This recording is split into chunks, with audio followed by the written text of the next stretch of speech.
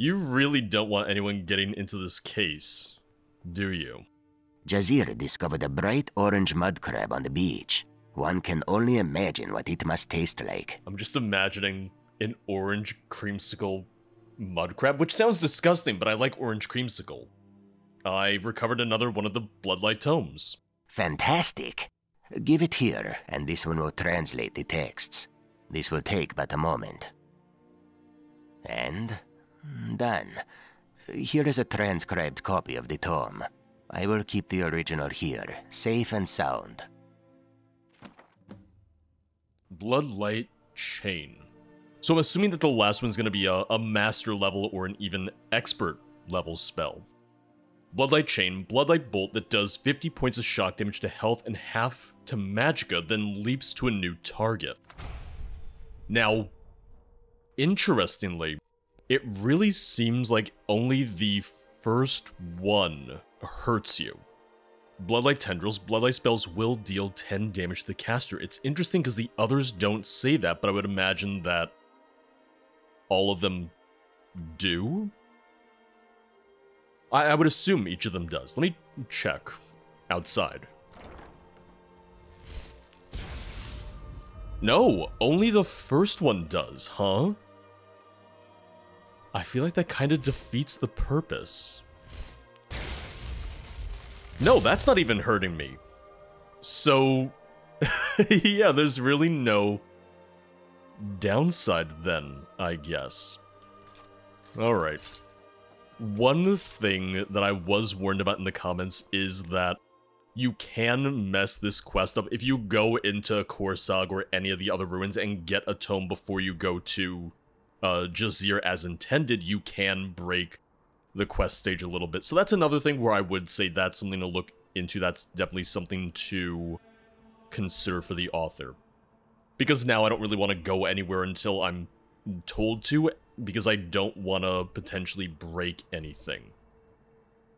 I do wish there was some sort of quest stage in which we would ask, like, oh, how do we get to that other island? Whether it means going back to uh, Lady Gwyn, to Gwynevere, or something else where it's like, oh, you can find a boat, you know, along the coast. I do think that it would work well to, you know, maybe give us a little bit more direction in that sense. What I will do instead is I am just going to try and find a ship or something along the coast. If I don't, then I guess I'll go back to Gwynevere and ask her. We do have what looks like a harbor or a dock over here, so I'm guessing this was kind of the intent, you know, walk in the direction of the map marker and then you'll find the boat, you'll find the ship, you'll find what you need in order to get across. The pickled horker. I oh oh hello. Hello. Okay, you you were uh, looking out at the water, just you know, taking in the view. I I can't blame you. It's a lovely view. It really really is. I'll show you what a real orc can do. Is there another one behind me? I I I heard someone talking, but your lips didn't move. Are you a ventriloquist? Oh, gonna cry now, huh? No. Not in front of you, at least. Oh, pray to Stendarr while you can. Victory is yours. I submit. Oh, I'm so glad that you submitted. It makes it so much easier to kill you. Now, can I use this boat? If I can't, then I'm gonna feel a little silly. I don't think I can, which I mean, it's not my boat, it's not my ship. Uh-huh. Yes, here we go. Sorry, I was aiming for the, the fancy boat. I was aiming for the ship. I didn't want to take just the rowboat, although... For just me, myself, and I, that's probably a much smarter decision. Just take that, not the, uh, the ship meant for a full crew already love the amount of greenery on this island. This already has, you know, such a different design from when I saw the first island, and I really like that. Like, this feels much more green, it feels much more lush, it feels much more vertical as well with the fallen uh, tree that you can use as a bridge up there, I would imagine.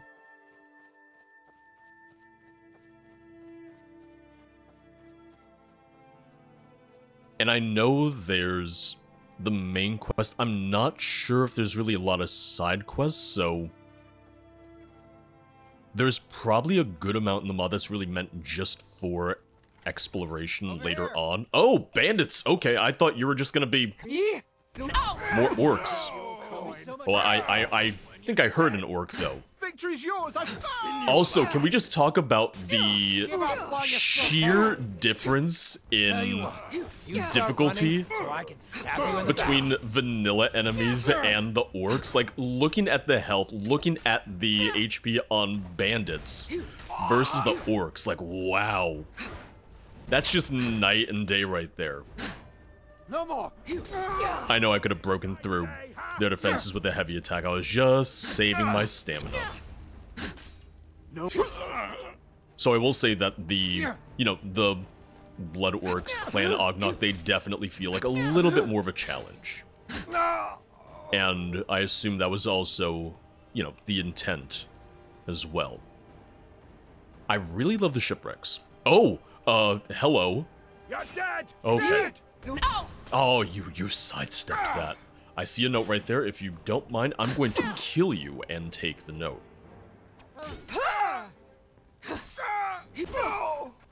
I know the bandit chief spawning in with the Daedric plate armor. I think that's just like a leveling thing. It's just a random thing. I don't think that was from the mod itself.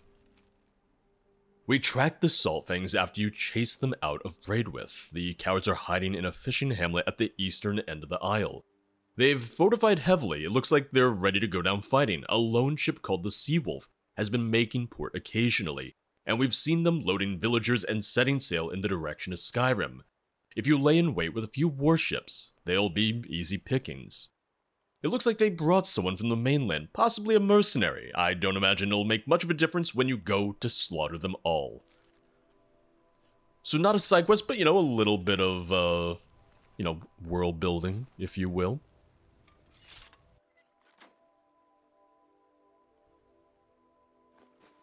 I also realize there's not much reason for me to go into some of these chests because it's just really vanilla loot and whatnot, but I'm just taking a look. I'm just seeing if there's anything to grab, uh, knowing that there's not a high chance of it, but eh, why not?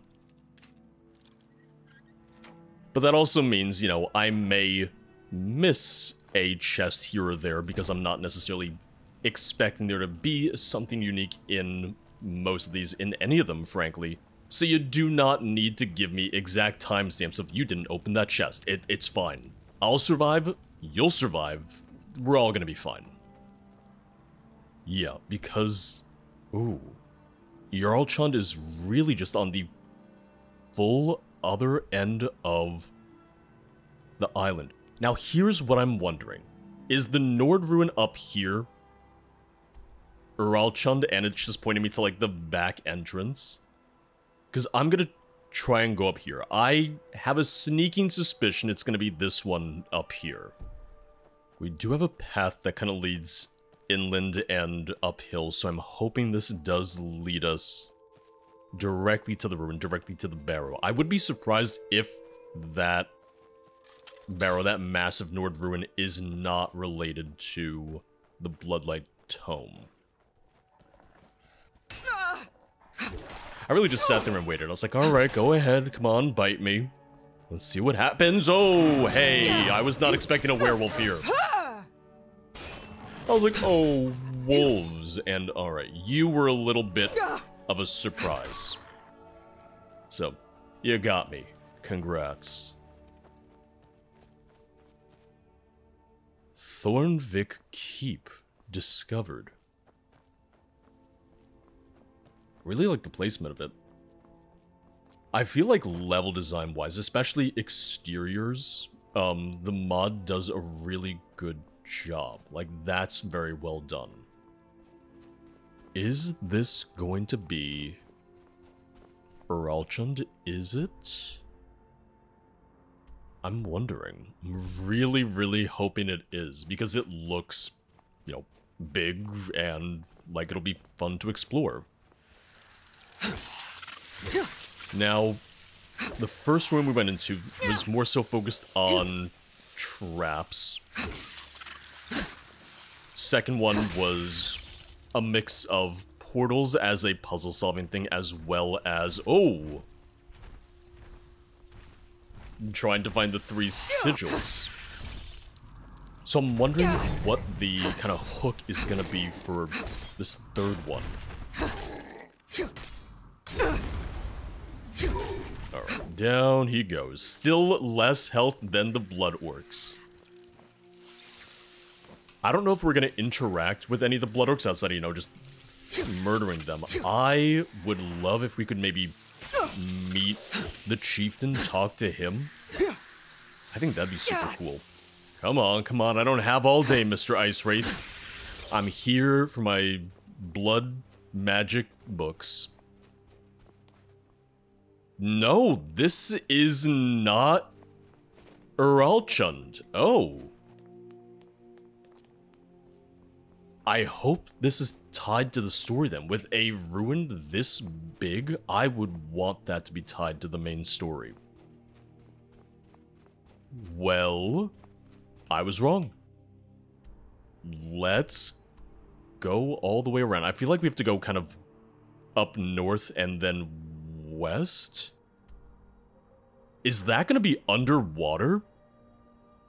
It might be. Honestly, it also looks like I might be able to just keep on going west from here and then curve on down. So maybe that's going to be the best way to do that. I really didn't think it was going to take me this long to get to the third ruin. I thought it was going to be a little bit more straightforward. But I also think this would have been a great time to have, like, Guinevere or someone else as a follower for this just so we have like someone maybe talking to us about the islands and everything lore-wise, world-building-wise as we make our way there. I really feel like I'm going the wrong way for this, like, wherever this ruin is, I feel like I'm going the wrong way, but hey, I'm just following the marker as best I can. Okay, I can see the submerged ruin, and it does kind of line up with the fact that they said, hey, by the way, you know, these were all buried however long ago. Ooh, submerged dwarven ruin. There you go. There's the uh, the twist. Wait. Ah, ah, ah! Why is that so loud? Holy shit! Oh my god! Oh, that'll be lower for you. Both my screaming and the audio, but oh dear God. That was terrifying. Don't like that. Don't like that at all. What I was gonna say is that as I opened the door, it said, hey, it's barred from the other side. So, I, I'm wondering if I'm even doing this the right way, but I followed the marker. God, that was terrifying. Oh my poor ears. And we had like this spooky ambiance when we entered the other ruins, but that was just a world apart. Oh, wow. I was expecting a little like, whoa, that we had in the others, but I certainly did not expect that. Oh, okay. I do like that he has, you know, the Bloodlight spells, that he has a different color. That That's nice. That I'm happy with. Yeah, I feel like I just absolutely skipped everything to get here, so Here's what I'm going to do. I just want to see real quick. Let me see if there's supposed to be another entrance to Uralchund. Yes, okay. There's supposed to be another entrance. The marker is unfortunately not pointing there. That makes a lot more sense because we absolutely would have just skipped through all of that. All right. Um, I don't know how easy it would be to fix the marker placement for that because I know that quest markers sometimes just prioritize the wrong way, but that's definitely something to look into as well. At least this time, I'll know that there's really loud yelling coming, but at least this time I'll be aware, be wary, and prepared for the blood-curdling scream that deafened me. Imagine if I had just gone against my better judgment and I just said, oh, clearly that's the entire dungeon. Clearly that is all of Uralchund. Let me just grab this and go. And then you just lose out on the entirety of that dungeon, the entirety of that quest, and you go, oh, that was stupid easy. I don't know what it is, but I just love how much it rains in the mod. I don't know. There, there's something about it. I feel like it adds to the world. I, I feel like it does kind of add to the tone. And I do like that. I do appreciate that.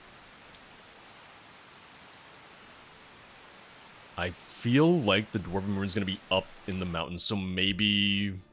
Yeah, it looks like it's still up in the mountains, so I have to find a path up there.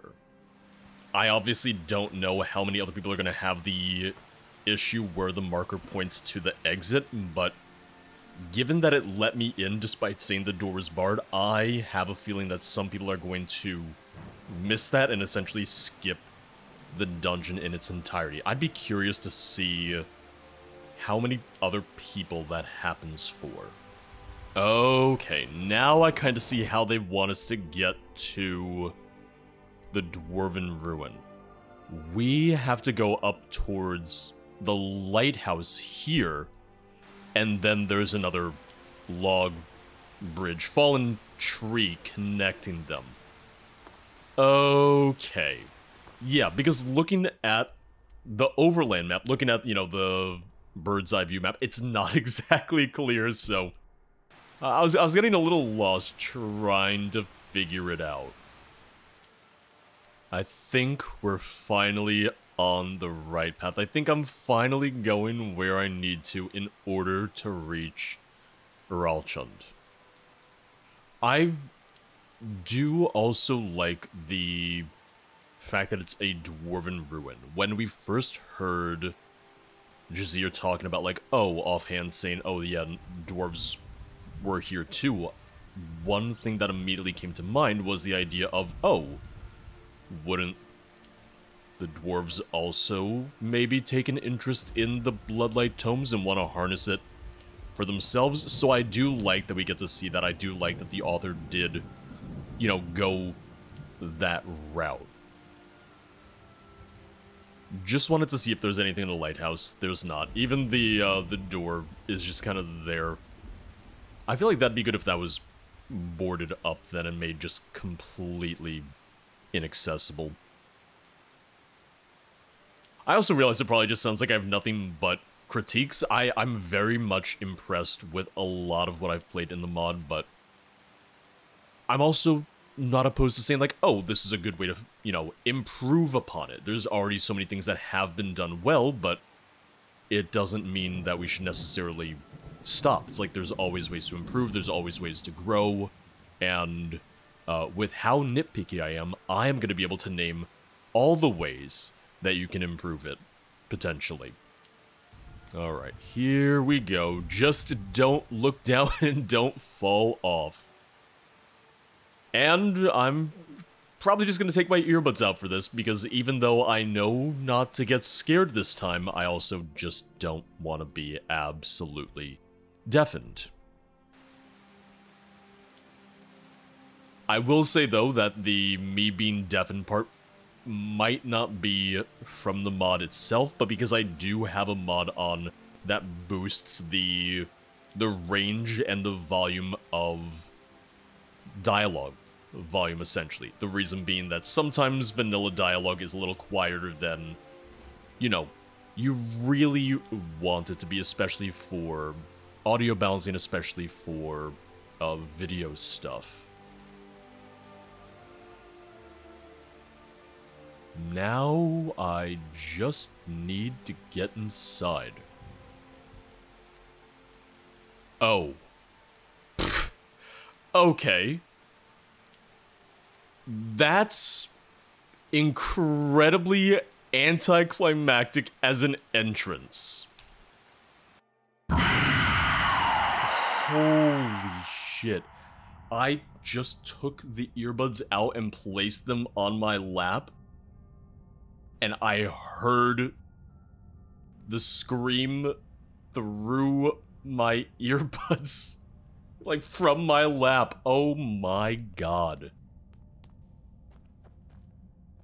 Yeah, that is not the entrance to Uralchund that I expected. I think it would have been fine had I not spent so long just trying to find the original entrance, the correct entrance. I feel like I would not be as I won't even say peeved. I I won't I wouldn't have been as underwhelmed had I just been led to the correct entrance in the first place. But I was looking for like, you know, a typical dwarven ruin entrance.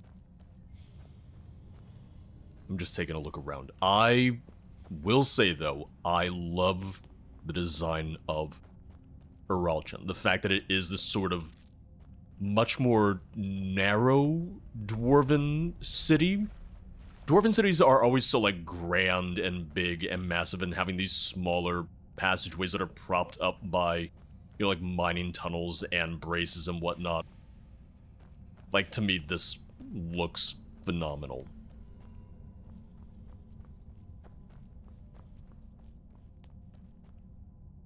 This might not be as big of a dungeon as some of the others. This might be a much more straightforward dungeon compared to some of the others. But we do get our big crunchy bugs. So, you know, if you like eating crickets, if you like eating roaches or anything like that, man oh man, you're in luck. Just come on down to Uralchund and eat your heart out.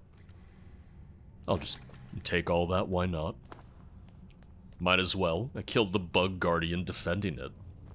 Did I go the wrong way? Because this seems like a dead end right here.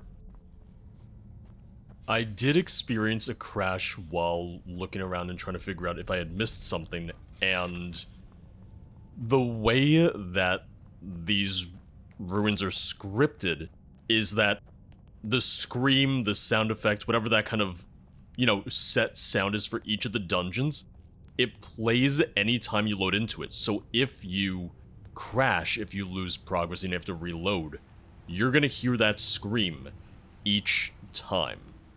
There was a, a way forward from that room I was in, from that chamber I was in. I just missed well, I missed the one way to go. Oh god, okay. After the scream, everything's got me on edge now. After the scream, even just the little bad effect has me on edge. Ooh, I like the five dwarven heads together. Yeah, they really designed some really interesting, some really cool looking locations. Ooh, I really thought that was going to kill you.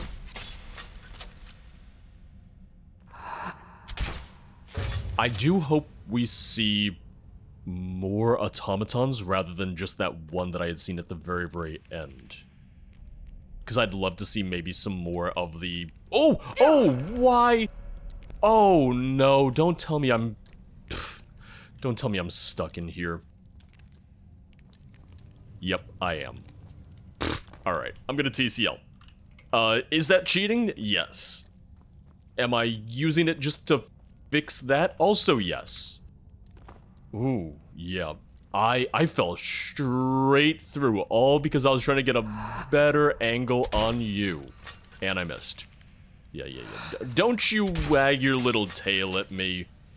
You're gross. And you're also having a little bit of a seizure right now. You you walked off the ledge, you were climbing on your side. Bad day for you. Yeah, I I fell like straight in there and there wasn't really a way out. Oh, and the spider's also...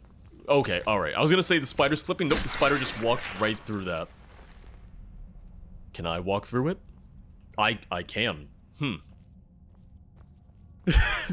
okay. Like I have, yeah, I, I have collision on, obviously, or I'd be falling through the floor right now, but... That's just, that's throwing me off a little bit here and there. It also just has me terrified that I'm gonna fall through even more stuff. Like that! No, that was intentional, though. Okay. Oh. That was a trap. Oh, and they dropped me down. Oh, alright. That was a good one. Y you got me. Didn't scream as much, but you definitely got me. I'm wondering if there's a way back up. Although we have essentially reached the end. Like, I know where we are now, yeah. I really love the bloodlight spheres and everything. The fact that they're a different color, that alone just, you know, that already makes them feel much more unique. And I love that. I see you, and this time I was ready. This time I was prepared. You certainly weren't. You very much were not ready for me.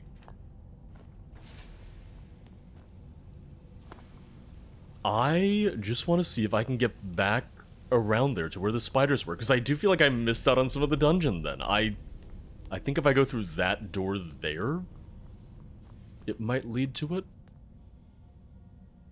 Do you like the, the spiders just kind of hanging out right over there? Listen, they don't like fire, and I like things that they don't like, so I am just going to heat them up a little bit. Oh, it did not kill them. Okay, I, I can get to them, though. Yeah, I... I just really want to fight more Bloodlight Automatons. I really, really do. I feel like that would have been a much more fun enemy type than uh, just more spiders and chaurus, frankly. Let me go through it. Let me see if I can get back up to where I fell down from.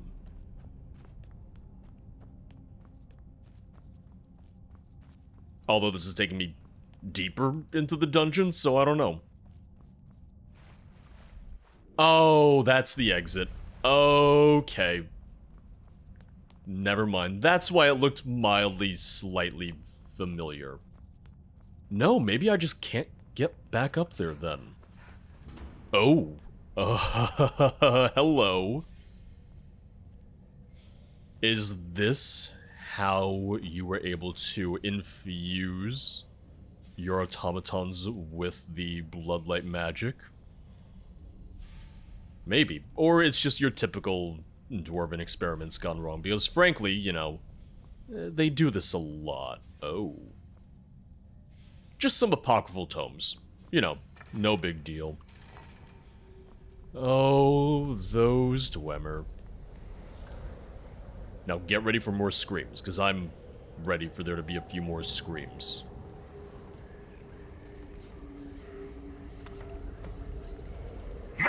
Yep, yep, yep, yep. I mean, that's a vanilla scream, so that's okay. That's not as bad.